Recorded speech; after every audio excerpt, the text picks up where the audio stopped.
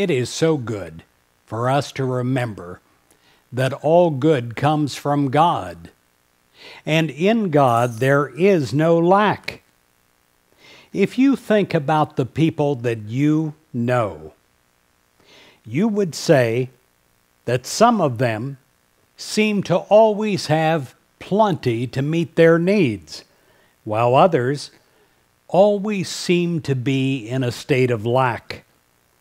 Two people can have almost the identical incomes. One will feel prosperous, and the other will feel poor. Consciousness is made up of habit thinking and feelings about life. So, a prosperity consciousness is the result of thinking and feeling in terms of supply and success. It is the result of looking at life from a thankful and a prosperous viewpoint. It is the result of using, of sharing, and enjoying that which we have without any thought of limitation.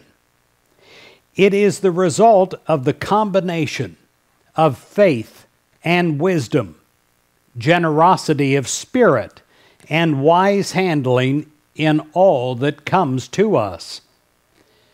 The basis of a prosperity consciousness is our belief in God, our belief in God as abundant and never failing to us.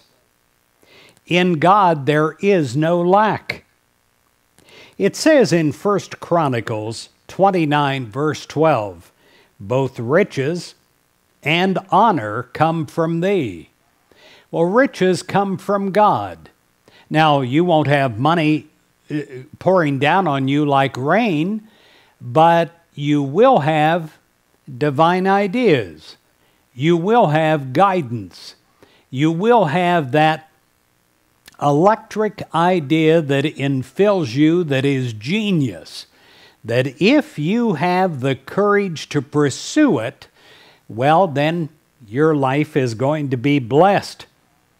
Also, honor, real honor, does not come from other people, it comes from that connection with God and the realization that you know that you're not alone the feeling that you have that you're going to make it no matter what.